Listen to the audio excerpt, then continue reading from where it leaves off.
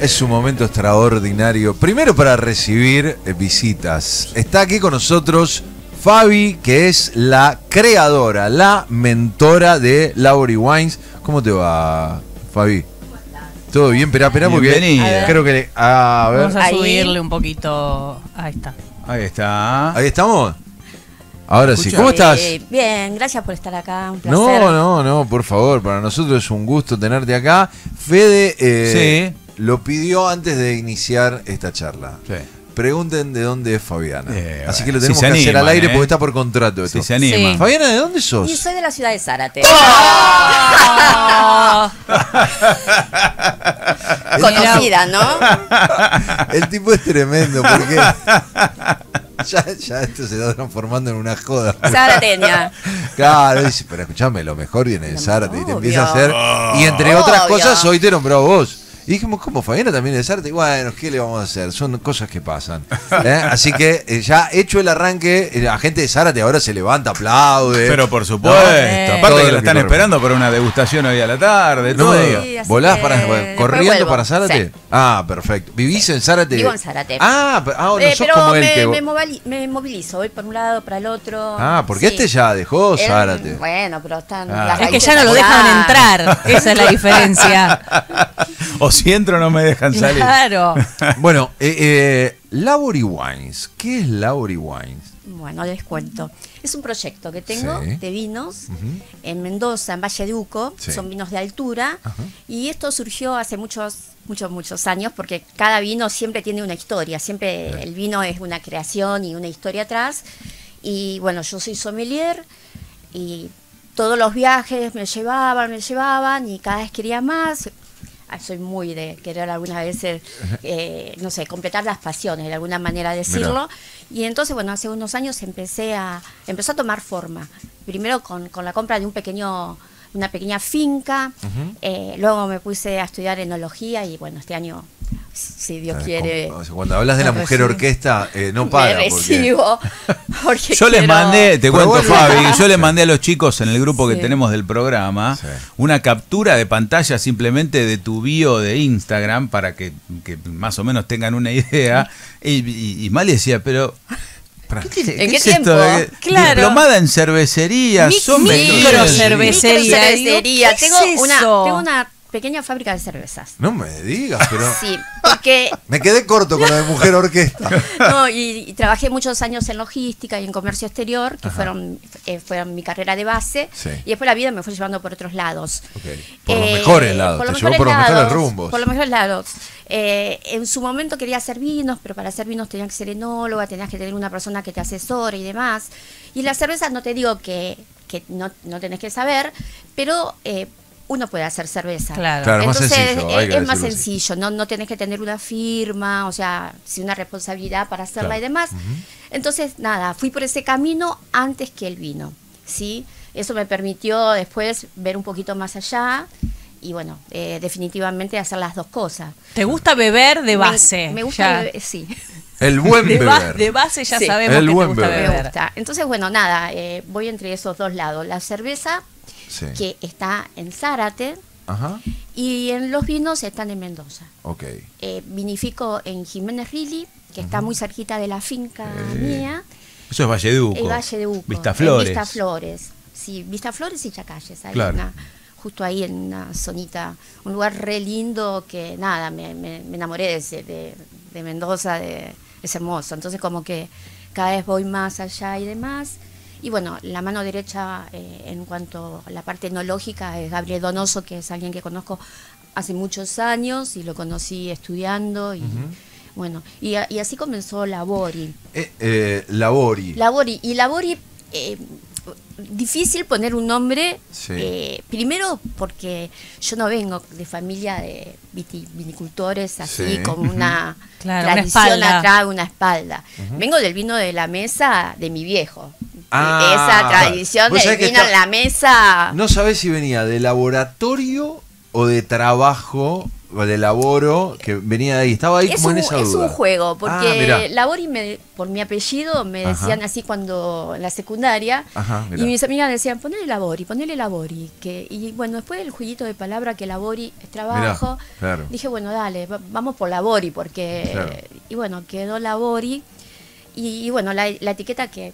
Me había Hermosa, hermosa, la verdad. etiqueta. Muy linda etiqueta. Eh, tiene algo que, que para mí es eh, súper eh, importante en, en cuanto a lo que yo quiero representar en la Bori, que es eh, el amor, la familia y el compartir momentos. Es como que para mí el vino une y son momentos, momentos solos, lindos, feos. O, entonces, nada. Y luego, si ves acá, em, uno empieza a mirar y dice, "¿Y pero ¿por qué tiene un barquito, un avioncito? Eh, un montón, un camioncito. Y bueno, nada, la, la- la etiqueta es un poco contar de, de- de dónde, vengo y hacia dónde entiendo. fui, Exacto, hacia dónde la vida me fue llevando. Ah, muy bien, muy bien. Porque ahí en ese vasto currículum que uno puede ver simplemente en Instagram, dice licenciada Administración Naviera. Claro. De ahí el barquito. Y ahí el barquito, sí, y ahí el barquito. Ahora No. me dice que es piloto de avión también, me No, levanto y me voy, no. chicos, dale. Espera, todavía no. No, no, El año no, que ya- viene me recibo. El año que viene por ahí. Eh, Fabi, pero a ver, eh, un poco, eh, vos decías, me llevaron a Mendoza. Hiciste, ahí pusiste en responsables a personas que no hemos nombrado Es que- todavía.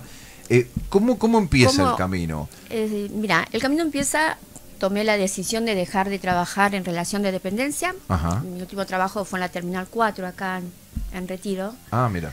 Y, y nada, que empecé a, a pensar en un proyecto que lo que podía hacer. Entonces, eh, tengo una quinta de eventos y eh, la quinta de eventos me llevó al vino. Mira. Y como... La quinta de eventos está en Zárate. Correcto. sí. Y bueno, eh, nada, eh, em, decidí que tenía que saber de vinos y empecé la carrera de Me, sommelier. me encanta, me encanta porque nada medias tintas, ¿viste? O sea, Sí, y decidí claro. que tenía Bueno, que no saber. sé, porque vino. el que abarca, abarca mucho, poco aprieta. Así que no sé si está bueno, pero la realidad No, pero, es que. pero fuiste, eh, jugaste fue- a fondo, o sea, fue- la pasión sí, te llegó con em- todo. Sí. Porque eh, alguien podría haber dicho, bueno, comercializo vinos, me vienen de otro, me, me- me probé uno que me gusta, una etiqueta Sí, sí, compro y vendo y ya está. compro y vendo. Claro, sí, la fácil. Y- Va, que tampoco es fácil, ¿no? Sí, y, no es y fácil, además, pero- y, y te doy una vueltita de tuerca, podrías haber dicho, bueno, en- me encuentro en un eslabón dentro de la cadena de la producción y me ubico ahí, pero no hace falta ni que sea sommelier, ni que, o sea, Claro. simplemente podrías haber desarrollado el marketing de la etiqueta y estaba también bien, pero no, o sea, dijiste, bueno, voy por una finca, voy por mi etiqueta, eh, me, recibo de sommelier, ahora eh, voy a ser enóloga, o sea, jugás a fondo, la pasión te lleva un poquito más Sí, que la- simplemente de- de mirarlo de costado, ¿no? Sí, la pasión me lleva más y, y también la vida me lleva más, porque es como que quiero, necesito siempre estar en movimiento, es como que es, es una, un poco eso, ¿no? De, de estar en movimiento, de ir para un lado, para el otro. Eh, siempre fui de esa forma y, y me encanta, porque me encanta eh, saber eh, y poder estar en el proceso y, y bueno, y, y aprender también, o sea, y, Y- y ¿Y cuándo, em- cuándo empieza? ¿Cuándo empezás a darte cuenta que el o sea, primero viene la finca o primero hiciste una prueba antes de la finca? No, primero vino la parte de sommelier y en la etiqueta hay una partecita muy chiquita que dice vino por mí. Mira, ¿ah? Porque yo siento que el vino me, me buscó. muy bueno. Cuando empecé a estudiar la parte de sommelier y empecé a viajar con, con colegas a Mendoza, eh, ahí sentí, y bueno, y escuché a, escuchaba El los eno- y ahí ya, tierra. exacto. Y dije, no, yo quiero esto. Claro. Pero era re difícil, porque yo estoy en Zárate. ubícame, ubícame fechas para, para darnos cuenta cuál es la evolución de este proyecto. Y la evolución de este proyecto tiene cuatro años. Ah, recontra nuevito. Re pandémico. Eh, empezó la pandemia a... a- a- Pero pará, ese viaje fue eh, No, yo antes de la pandemia. via- viajé mucho antes de Ah, la correcto, pandemia correcto. como sommelier Sí. Y nada, cada vez que iba eh, veía lugares, eh, bodegas grandes, bodegas chiquititas, bodegas, eh, no sé, la vida con los cosechadores, eh, Sí. todo eso y, y en un momento determinado em- empecé a, a Te empapaste de la soñar que- idiosincrasia que, se podía que hacer quizás. claro, claro. Y bueno, contando con Gabriel Donoso que me decía, bueno, ya Yo lo habíamos apoyo, hablado anteriormente. Vamos, Y bueno, nada, surgió así de a poquito. Eh, al principio lo sentí como lejos, en el, en el caso de que, bueno, yo en Zárate, en Mendoza, eh, empecé con la cervecería que estaba como más cerca. Es- ¿Esto es la cervecería cuándo? Porque La en cuatro años la no, la cervecería fue 2019. Ok. O sea que ya habías empezado a ver A el ver tema de la cerveza artesanal. La cerveza artesanal, sí. Bien. ¿Y cerveza artesanal que termina siendo embotellada? ¿Cerveza artesanal? Cerveza que es enlatada. de- en la- ah, en latas. en Ah, latas. mirá. En mirá. ¿Y se llama? Labori. Labori. ¡Qué original! No, no, No, bueno, está bien, toda una línea de Es una línea de bebida, está producto. claro, Sí, es tu sí. marca. Sí. ¿Por qué tiene que Tiene- ser tiene solo una- cosmética? Claro. Ella dijo, yo voy a hacer Es- cerveza. y eh, vino. es mi lado B. Claro, está perfecto, Claro. está perfecto. Es mi lado B. Bueno, y, em- y empezó a funcionar lo de la cerveza. Empezó ¿cómo? a funcionar lo de la cerveza y eh, nada, ahí empecé a averiguar un poquito si podía estudiar enología. Mira. Y cuando, cuando- contás, no, no, eh, sí, la pandemia abrió algunos campos, por ejemplo, poder estudiar enología a, a distancia, Claro. semipresencial, Totalmente. por lo cual viajo eh, cada dos meses o cada mes por la facultad a Sí, estudiar y me quedo una semana estudiando y después vuelvo.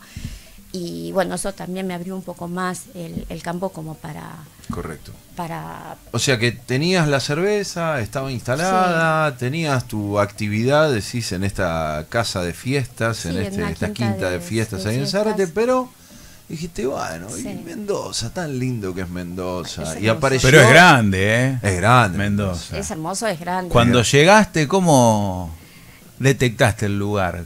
La Eh, uva. Me, me- me enamoré de Valleduco. Yo me enamoré de Valleduco y es como que todo se fue eh, dando.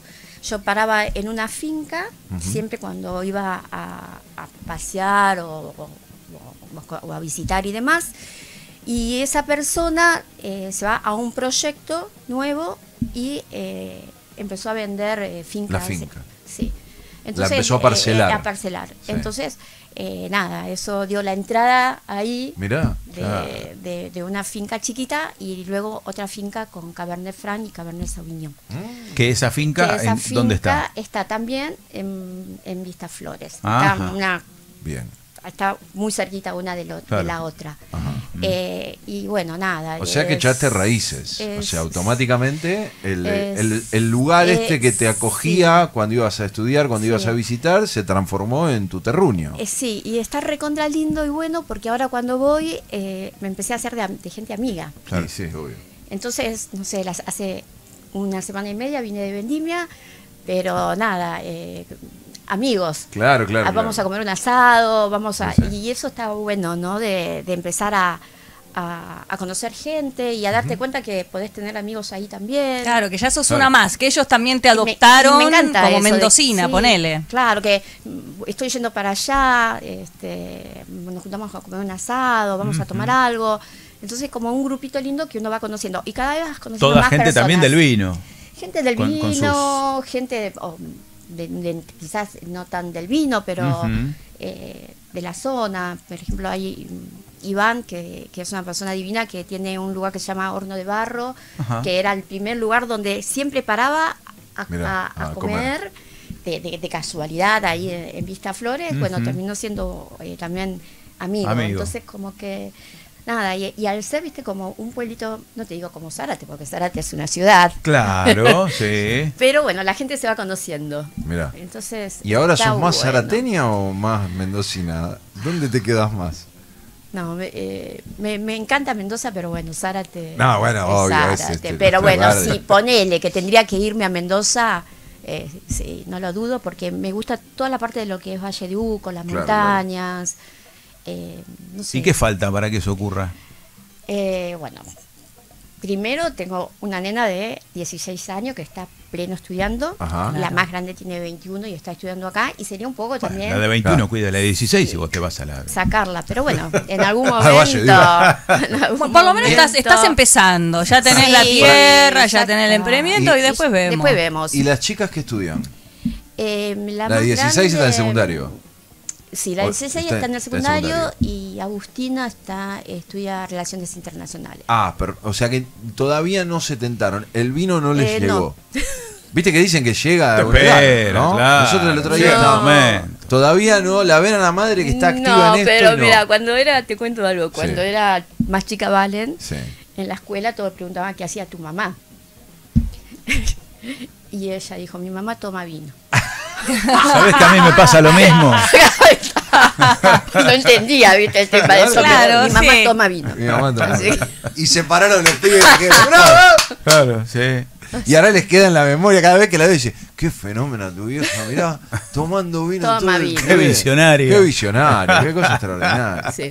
Bueno, eh, estamos con Fabiana. Y con eh, una sed. No, bueno, pará, pará, porque eh, de esto se trata un poco la historia. Contamos un poquitito cómo es el desarrollo y ahora ya nos vamos a meter en el vino. Digo, ahora va- vamos, ya ella eligió, trajo acá para que podamos, para que podamos probar. Eh, y nos vamos a meter un poquitito en la historia de esto, por qué estos cortes, por qué eligió eso, porque ya no se trata de lo que le dicen, es un poco lo que te gusta. O Es lo sea, que me hoy, gusta. hoy ya empezaste a definir vos casi todo de, esta, Y- pro- de este proyecto. Sí, los vinos son los vinos que a mí me gustan tomar. Eh, Hay una tendencia a ir hacia vinos con mucha fruta y demás, pero la realidad es que a mí me gusta con cuerpo y todavía soy de las personas que le gusta la barrica y todo Mm, eso.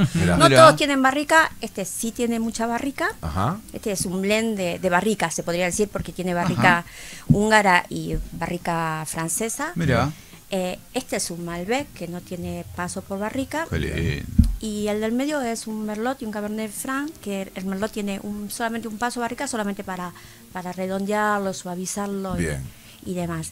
Y sí, los cortes fueron elegidos. eh, Ahora, a mi ahora, gusto ahora y nos vamos a meter con eso, nos vamos a meter en el diseño, en toda la parte esta que a veces se, se toca poco, pero que a nosotros también nos, lo- nos parece disfrutable porque cuenta eh, de- todo, todos los que componen el mundo del vino, ¿no? Desde el diseño y un montón de, de actividades más. Eh, Laurie Wines, ¿así, ¿así lo pueden buscar en redes? Sí. ¿Sí? Laurie Wines lo busca en redes. Seguimos con Fabiana, un ratito más, mentora, creadora, desarrolladora. todo. Espíritu. Espíritu, espíritu.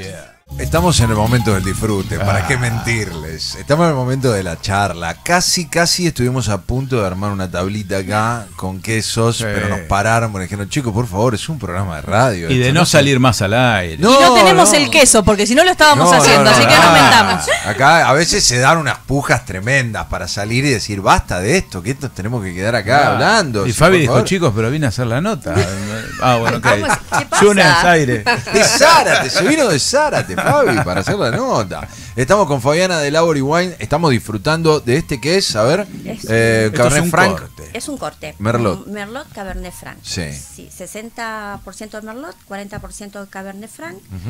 Eh, este, Merlot tiene un paso muy pequeñito por barrica, como para redondearlo y demás. Ajá. Y el Cabernet Franc está, se vinificó en un huevo de concreto. Sí. eh, Ah.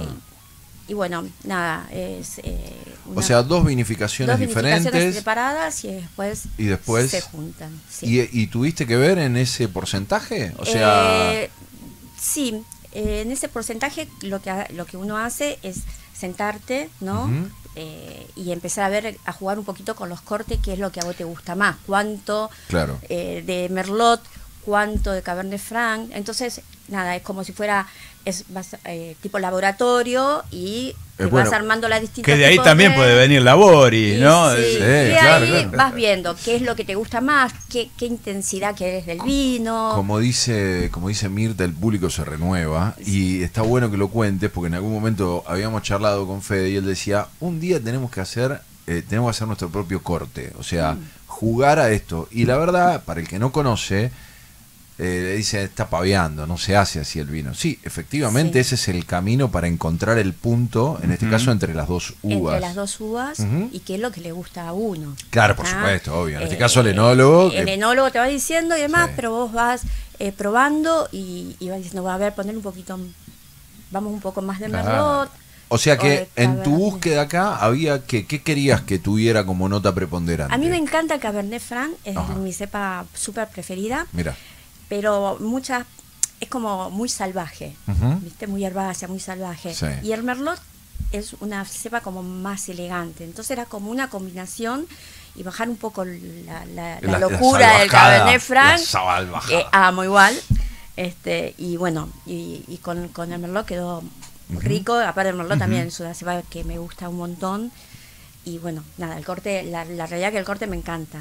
Eh, porque si bien no tiene paso por barrica y demás, eh, es un vino que tiene cuerpo, tiene estructura. Sí. Pero por el otro lado también me gusta que tengan cuerpo y estructura, pero que las personas también lo puedan, eh, que, que sea también, parece loco decir tomable, pero que, que, que lo, que lo puedas tomar, Bueno. y disfrutar y que te invite a seguir por otro- tomando, no que no te quedes en la primer copa. Yo siempre lo refiero porque él es el que trae la información, no solamente porque es de Zárate. Ajá. Eh, pero algo que eh, a la hora de comunicar él plantea que hay una apertura a vinos que tengan que ser tomables, o sea que la gente eh, vaya a algo que lo pueda tomar en cualquier momento, que no sea después de una comida heavy que pueda contenerlo, sino que en una tarde fresquito se pueda beber en algún Sí, lugar, en una previa. eh, Sí, yo también creo lo mismo.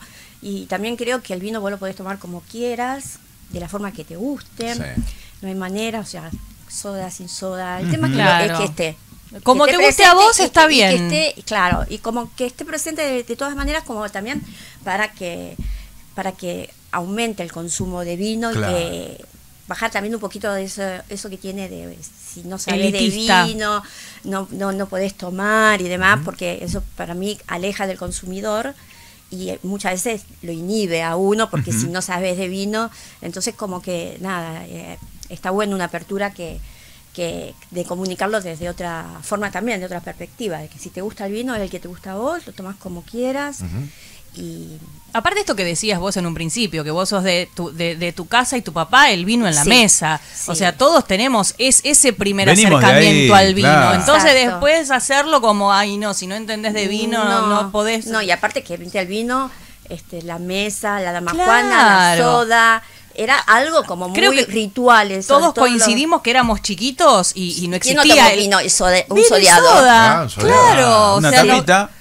Claro, nos Sí. criamos así, entonces como ahora es decir, ay no, porque si tengo, si no tengo experiencia, es como no, no, no, a mí me parece que es como tomarlo y también eh, romper esas estructuras de, de decir, bueno, sí, hay que saber. No, o sea, eh, muchas veces cuando estoy con mis amigas que por ahí no toman eh, y empiezan, digo, no, vos tomalo.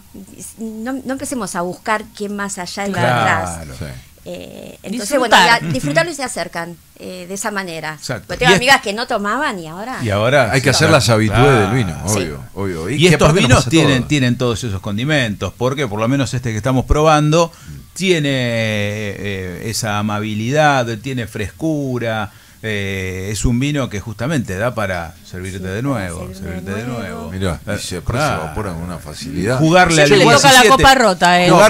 Yo Sí. te cuento, esto lo tengo que contar. Primero, eh, por lo general, eh, aprovecho en el corte, porque después me toca hablar mucho. Claro, no podés. Y entonces los miro Claro, a todos bebiendo. por eso fondo blanco. yo, y bueno, pero eh, eh, en referencia, estamos, estamos probando un Cabernet Franc y Merlot. Merlot. Este que este que está Ese acá es Malbec. De 100% Altamira. Malbec de Altamira.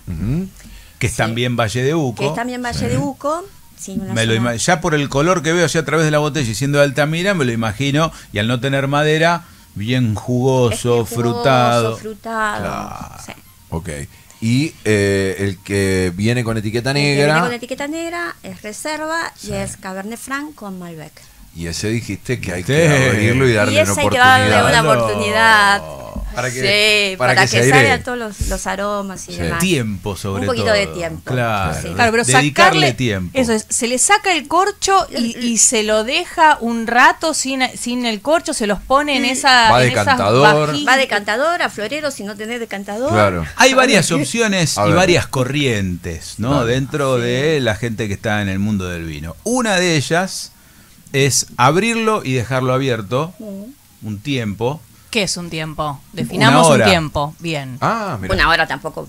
Claro, me decís 15 días. 15 días, ¿eh? No, no, yo pensé Bueno, pero 15, por 20 ejemplo- minutos, no, una hora. Claro. Ok. Ponele, ¿no? Otros prefieren decantarlo, entonces ya esa hora te lo te la ahorrás, Se reduce. ¿no? Porque lo mandás al decanter, eso que usamos de florero habitualmente, lo usás para el vino y listo. Y otros, y ahí me enmarco yo, prefiero abrirlo, servirlo y esperarlo en la copa, copa. y dejar que pase el tiempo, la charla, el momento y Ah, bueno, poder vivir y disfrutar toda la evolución del vino desde que es servido hasta que es finalizado. Pero una hora en la copa, no. No, ¿cuánto? No, no, no, pero vas tomando. Ir- o sea, ir- a ver cómo salió recién de la botella. Ah, Y- ok, Y- entiendo, y, entiendo. cada tanto hacerle el girito ese de, de Siempre, copa, Que digamos. se vaya oxigenando y se van Y despertando con eso los es como que tenés una cata fasada en fases. Vas Claro. viendo el- desde la apertura hasta, digamos, un horario Sí. mediano de la acera. Alguna vez un, un enólogo dijo con respecto al uso del decanter, eh, decantar un vino es como tener un hijo y conocerlo recién a los 18 años.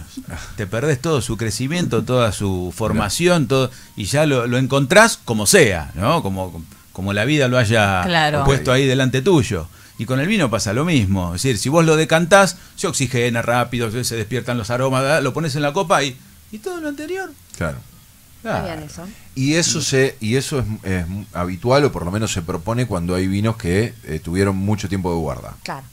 Entonces eso, eso es lo que te permite a vos, eh, digamos, conocerlo en toda su magnitud en la primera copa. Sí, aparte que va cambiando. Claro. Se va, va expresando. ¿Cuál fue la primera cosecha que sacaste? Es decir, el, el primer vino que salió, ¿en qué año? Este es el primer vino. ¿Este, el 21? 21. Ah, muy bien. 2021. Y Claro, este, por- Perdón, digo, porque yo, eh, quiero hacerme la idea de esto de la finca. Vos compraste la finca y ya estaba con, con su, su viña, con Tiene- había producido Claro, antes. ay, No es que la enganchaste, no, sembraste. No, y no, no puedes. Claro, No, digo, tiene, por eso, para ubicarme en tiempo Mira, espacio. eh, la viña tiene eh, plantadas eh, plantas de hace 25 años. ¿sí? Y la otra casi 40 años. O sea, Claro. era una, una viña que venía ya produciendo. produciendo y de hecho estaba destinada a la venta, o sea, vendían la uva. Claro, no elaboraba. para, no para, co- elaboraban. para comerla. No, No, a, no, para- a- Ah, a otra bodega. para vinificarla. Ah, ok. Sí. Eso es mucho mejor negocio que hacer el vino. Pero tiene menos costo. Ahí, ahí, ahí. Pero no tenés este resultado. Claro. Tu etiqueta, tu botella, ¿eh? y que decís... Claro, la tercerizaban, digamos. Claro, vendías la uva y Pero no para que te hagan tu vino. Vos le vendés la uva y quizás A otra persona. una bodega grande Sí. eh, hace su vino con tu uva y el consumidor no se entera. Es decir, Claro. A veces hay que salir a comprar después de los problemas climáticos que hubo el año el pasado. año pasado, el año pasado hubo mucha compra de uvas Claro. de bodegas porque hubo una helada tardía, una helada temprana, un granizo, granizo. fuerte. Este Sí, año sí. no hubo tanto, este año lo que hubo el viento sonda, Ajá. que bueno, caliente. Claro, sí, mal. Claro, que te Eh, sobremadura la es- uva. Sí. Siem- Exactamente. eh, claro, tiene eh, al final eh, un sabor lindo porque vos tenés tu botella, pero en el medio hay un montón de cosas que nada, si llovió fuerte, si granizó, a ver cómo está, eh, la helada, eh, es como que también tiene probabilidades de, de que bueno pase algo y no se te dé la cosecha de la manera que vos esperabas Claro. el año pasado hubo menos cosecha, Claro. este año hubo más uva. Eh, y bueno, esas cosas son, como toda actividad, imprevisto, cosas que pasan. Pero bueno, nada, y todo eso va a cambiar el sabor del, del próximo Del vino, supone. Exactamente. Estas Claro. son botellas limitadas, que son 2.000 cada, cada una de, de las variedades. Y irrepetibles. ¿Por qué? Porque va a depender de la uva. Claro. No, no es, no es, uno sigue el estilo quizás. Claro. ¿sí? Busca Mantener el mismo la estilo, proporción. mantener el estilo y demás. Claro. Pero posiblemente va a cambiar porque la uva va cambiando, la naturaleza, y entonces va a cambiar. Hacías mención que una de las fincas tiene 25 años y la Otra otra 40. ¿Eso es una finca madura? O sea, ¿cómo es el resultante de esto, eh, de, de ese, de ese tiempo de finca? ¿De qué estamos hablando? ¿Una finca nueva por un lado, una finca madura? No, ¿Dos no, fincas? las dos fincas se podría decir que están, eh, son fincas maduras, ya tienen 25 años de. Ok. de- de- o sea que ese es el tiempo de 40. maduración de... Eh, los viños, por, por lo general, a los 6 años, 5 o 6 años, puedes empezar ya a Ah. obtener uvas. Correcto. Eh, pero bueno, Dignas ya, de vinificarse, Claro, dignas de vinificar, Pero ya un, un viñedo de 25 años ya te está hablando de uvas Bien. eh, no sé, con todo el potencial. Eso, a eso es a lo con que todo me- el potencial para, para hacer vino. No sabía si había una diferencia entre 25 y 40 que encontrabas como dos cortes, uno como... Sí, tiene Bueno. más, más potencial, Claro. este, tiene más potencial y demás. Eh, los viñedos estar en, en- en Valle de Uco, más allá de, de la antigüedad y demás, eh, por lo general dan menos cantidad de uvas que los viñedos que están cerca de, de la ciudad y demás, por el tipo de clima que Ajá. tiene eh, Valle de Uco. Ok. ¿sí? Eh, y, y al mismo tiempo, al ser menos cantidad, son como más, más jugosos, más expresivos, porque al tener menos, menos uvas en racimo, es como que tienen más eh, propiedades la, la uva. Ok. Eh, Lauri Wines, así lo pueden buscar. Con Y, ¿no? Sí, y B sí. larga. Labori. Wines. Labori Wines, Sí. eh, así lo buscan en Instagram porque como dijo, eh, son limitadas. Son limitadas. eh, por lo tanto que Mira, acá esta, esta que tengo yo la reserva dice, Sí. por ejemplo, partida irrepetible de 2.000 botellas, de las cuales esta es la 93. Mirá, derecho. Ahí tenés creo que la 82 y la que estamos tomando es la 1017. ¿eh? Ay, son Botellas coleccionables. numeradas, coleccionables, por supuesto. Sí, Nos sí. está escuchando Gonza. Ey, ¿eh? De C de Grande, Catas, que primero pone a disposición su espacio en Caballito para presentar los vinos, ¿eh? y segundo, nos dice Gaby Donoso es amigo de C de Ah. Catas, es decir, que es amigo de él. Y tercero, nos manda fotos de, de- de momentos de la noche y del vino, una cara de choborra, Gonza, tremendo, con Juan Yacalone. No lo quemés. ¿eh? Mirá. Exacto. Bueno, estas cosas. Esa linda noche. Nuestro Sí, amigo señor. Diego, eh, nuestro amigo Diego dice, uy, yo quiero ir a la aireación de Fede. yo quiero ir a la aireación de Fede. Bueno, a veces, eh, ahí está, con Gong en C de Catas que Sí. también eh, eh, se presta para esto.